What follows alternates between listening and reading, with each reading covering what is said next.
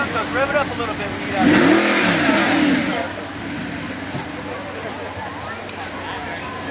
Hey,